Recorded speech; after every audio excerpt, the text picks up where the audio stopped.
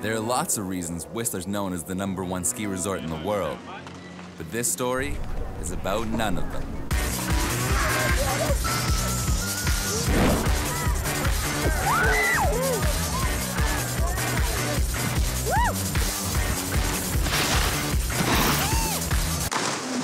This is about the real Whistler. If Amanda tries to play that game, like making me jealous or whatever, I can do the same. And I know he'll be jealous and hear a lot of but I know I'll hear a lot of stuff from him. You said that somebody tried to hook up with you. Did I? Just when I get drunk, like I'm, I forget that I have my girlfriend here. Like, you know what the girls are like here too. Like, they don't care. They lose all their morals. Did I tell you that I went home with Scoot? Seriously? Why? Because I love him. For me, it's all about the chase, right? As soon as you get a girl, you hook up with her, and it's over. This isn't just fun and games, it's your career that's at stake here. Get out of here!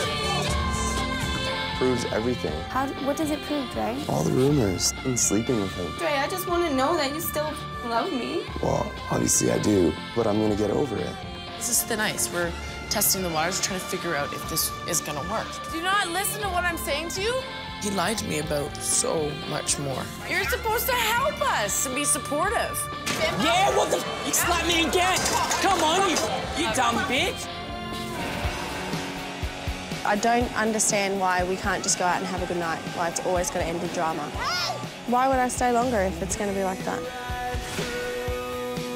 I don't want you to go. I got big plans for the world, big plans. And that's the best part about our group is we have all the hot people. I don't know what, what's going on in your life, but this town will chew you up and spit you out so fast. I'm really sorry, Sonia. I called you to, I don't know, try and get you back.